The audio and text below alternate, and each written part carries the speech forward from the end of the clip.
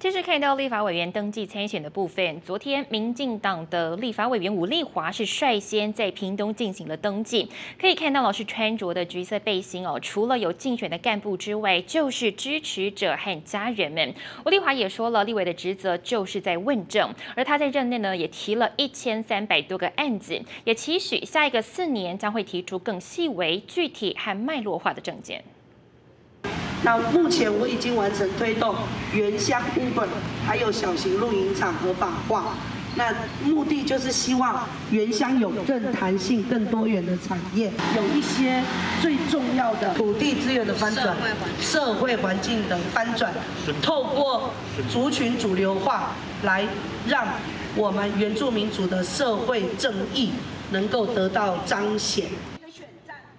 除了推动产业经济、青年返乡还有教育外，也提到族人最在意的原住民族自治法的困难处，是因为版本众多、众说纷纭，因此在未来希望至少先取得共识，从法律认可的部落会议为基础，推动部落公法人作为实质的自治基础。